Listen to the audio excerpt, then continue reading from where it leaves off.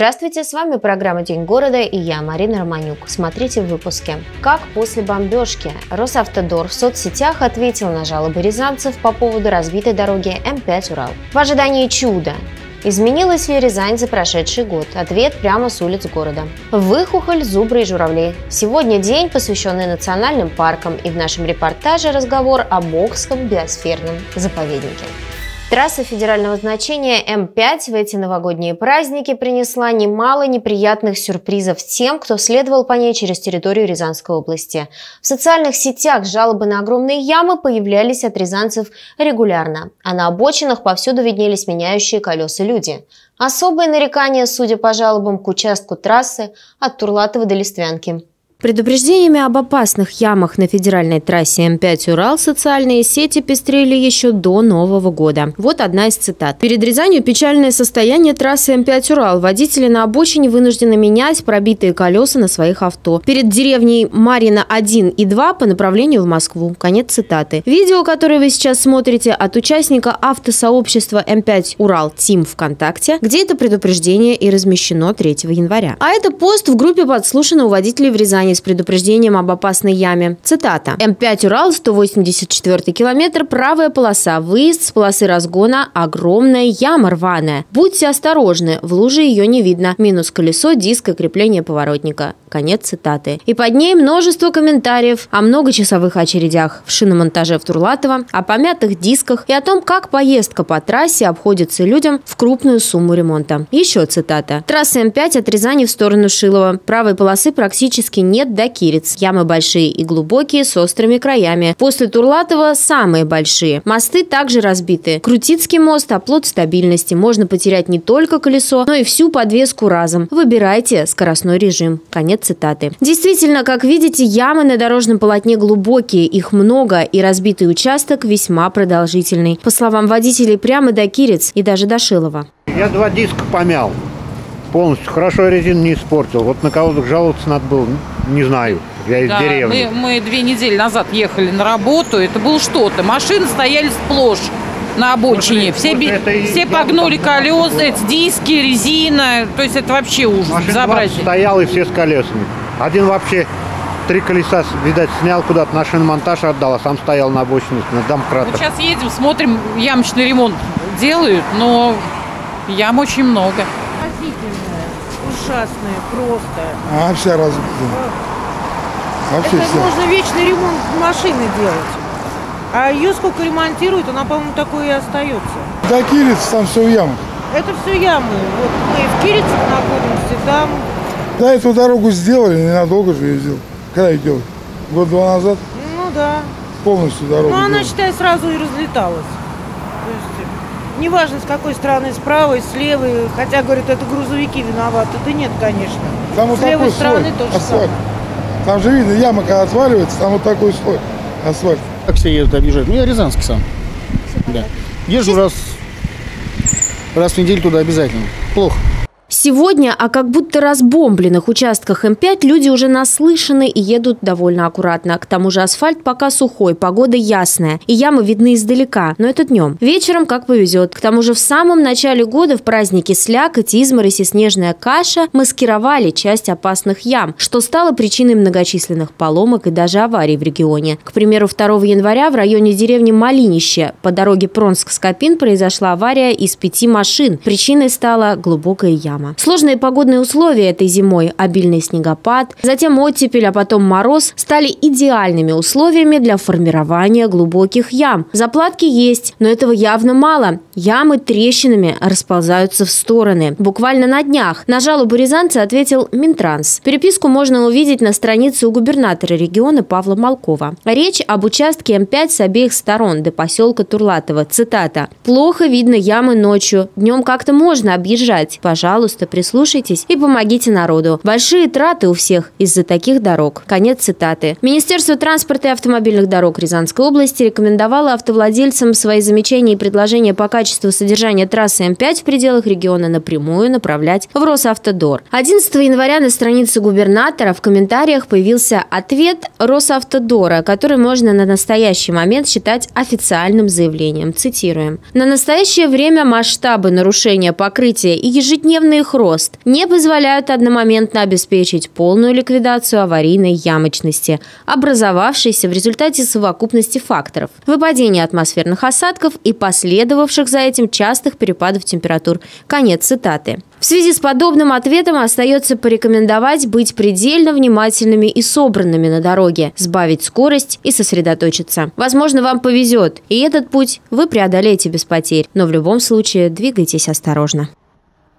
Что же касается самих новогодних праздников, то рязанцы встретили их на позитиве. Уходящий год принес нам всем немало изменений. Чего в них было больше, личных побед или общественных, мы спросили у людей прямо на улицах. Уходящий год для рязанцев, безусловно, стал годом изменений, как внутренних, так и внешних. События, захлестнувшие страну, так или иначе отражались и на их личном пространстве. Впрочем, больше всего люди на улицах сегодня говорят о позитиве. Благоустройство, новый автопарк, масштабные культурные события в топе воспоминаний. Рязань, как вам сказать, преобразилась, mm-hmm. мне кажется. Стал намного интересней, красивее, как праздничней. Ну, а личная жизнь как был, так и есть. Никаких изменений. Да, Малков настал. Угу. Да, может быть, он как новый человек, может быть, по-новому будет все это преображать. Но мне кажется, преобразилось. Ну, конечно, мы будем надеяться, что будет еще лучше. Личный. Ну, наверное, все было классно, хорошо. А общественное, то, что троллейбусы купили в Рязань, mm новые, mm хорошие, прям приятно вот было. который называется Адмирал, да? Да, да, да, очень понравилось. Молодцы, что купили. Он пришел новый губернатор и сразу купил. Молодец. Ну а так, мне кажется, в принципе, год во всем был неплохой. В принципе, да, все стабильно. Да. Хорошо. Ну, конечно, понятно, с чем связана не особо стабильность, угу. да. Но если так вот я оцениваю город, то в принципе все угу. нормально. Мне, мне запомнились троллейбусы. Да. Все союзный форум Э, древних городов, который проходил у нас в Рязани. Угу. А почему именно это? А потому что мы там участвовали. Угу. И вам все? все понравилось? Очень. Личные достижения рязанца стеснительно обходят стороной. Для жителей города по-прежнему общественные события гораздо важнее. Видимо, поэтому люди сознательно смещали акценты. Поступление в университет. А в какой университет? Медицинский. Медицинский, Рязанский. Куда ты ходили? сменили. Губернатор. Что-то заметили, что он сделал Троллейбус нового? новый Троллейбус Поездки с родителями по-разному. Там рыбалкам, с ночевкой. Вот, как отдых, путешествие. Отдых, путешествие, да. Изменения, да, заметила. В принципе, дороги начали резко чинить. Это очень хорошо. У нас вот на проезде Завражного мы живем. Вот. Там дорога была ужасная несколько лет, угу. а потом раз проснулись, и дорога сделана. Тоже хорошо. Ну, наверное, как новый губернатор пришел. Угу. Потому что как он встал на пост, так и дороги начали делать. Угу. Очевидно, что позитивный настрой рязанцев – своеобразный кредит доверия. Этот год, в смысле изменений, обещает стать самым масштабным за последнее время. Событийности будет хоть отбавляй. Главное, чтобы ожидания жителей города в 2023 получили от властей обратную связь. Валерия Никонова, Михаил Лазуткин, телекомпания «Город».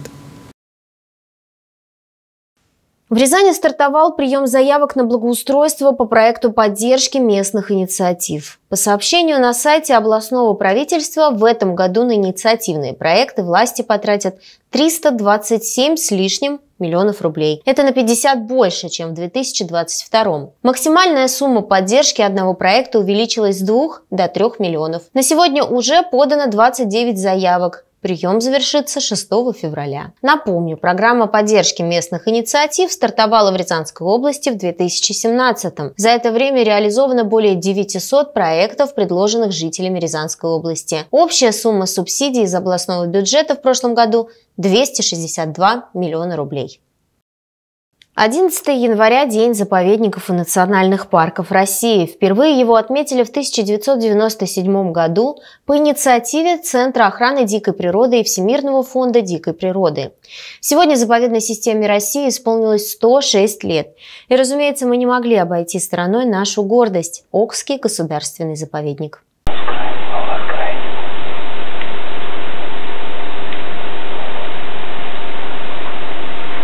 Вот ради сохранения такого малыша и был создан Окский заповедник. Выхухоли млекопитающие маленькие, размером с ладонь. И животные они, как выражаются специалисты, эндемические, то есть редкие для рязанской фауны. Поэтому и первая задача для Окского заповедника в далеком 35-м стояла простая – сохранить и восстановить русскую выхухоль. Эта основная задача была выполнена, и поэтому, собственно говоря, в настоящее время задачей заповедника стало сохранение э, всей уникальной природы э, юго-восточной Мещеры.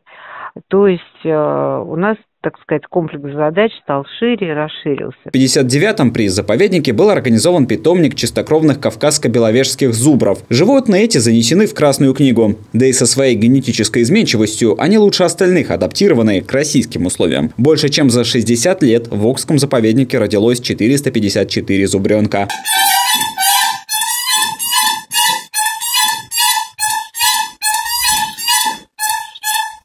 В 79-м здесь появился питомник редких видов журавлей. Задача осталась прежней – сохранить все семь видов журавлей, которые обитают в России. Даже эмблемой Окского заповедника стал черный аист, который часто прилетает сюда гнездиться. Среди общего многообразия есть и эндемик России – белый журавль – стерх. У нас э, обитает 61 вид млекопитающих, которых мы, соответственно, тоже изучаем и сохраняем. Э, список птиц насчитывает 266 видов, из которых около 150 гнездится на территории заповедника. Вот. В водоемах обитают, соответственно, рыбы, у нас э, беспозвоночные животные, очень большой список. Вот. Поэтому, соответственно, ученые занимаются изучением, наблюдением за теми видами, которые обитают в дикой природе. Одних рыб тут только 41 вид. И всегда находятся любители этих самых рыб половить. Круглогодично. Но таких обычно останавливает охрана. Это в основном э, зимние рыбаки э, под весну когда уже там, грубо говоря, э, вода уже начинает чуть, она, скажем, выходить, но лед еще стоит. Это уже как бы лов, нарушение правил любительского рыболовства. Ну, по рыбалке, допустим, так, 17 э, рыбалка, 29 вот было нарушений, вот. Остальное проезд и проход там моторной лодки, это территория заказника и проезд в территорию заповедника. На первый раз предупреждение. Это если такие пешеходы никакого ущерба не нанесли, а за повторное нарушение уже штраф до 4000 рублей. Плюс возмещение ущерба. В этом году пока нарушителей не было. Рязанцы заповедную территорию чтут. Еще бы сотни километров, где помимо редких животных произрастает 850 видов цветковых растений. Например, краснокнижная орхидея Венерин башмачок.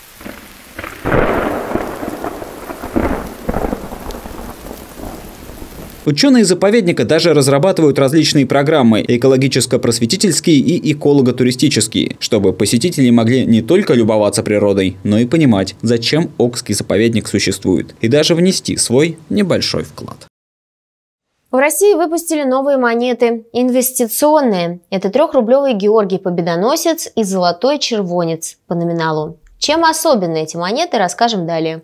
На серебряной трехрублевке Георгий Победоносец. Этот образ использовался в качестве государственного символа еще с XI века. Нам он более привычен на реверсе копеечных монет. Правда, что те, что новые трешки встретишь сегодня редко. Серебряная монетка выпущена тиражом в полмиллиона штук. А вот золотым червонцем история любопытнее. Он по своим параметрам повторяет царские десятирублевки. Дизайн разработан медальером Антоном Васютинским на основе эскиза для одной из дореволюционных сельскохозяйственных хозяйственных выставок. В центре можно увидеть крестьянина-сеятеля за работой. На заднем плане слева лучи восходящего солнца, справа дымящиеся заводские трубы. В центре поле и плуг. Сейчас золотая монета «Червонец» – одна из четырех основных инвестиционных монет Банка России. Три другие – серебряный Соболем, серебряный и золотой Георгий Победоносец. Тираж золотой инвестиционной монеты такой же – 500 тысяч штук. Нумизматом брать обязательно. Этой зимой погода капризничает не на шутку. Сильнейшие снегопады, сменившиеся оттепелями и дождями. Теперь морозы. На этом переменчивость природы не закончится. Чего ждать от ближайшей недели, расскажем далее.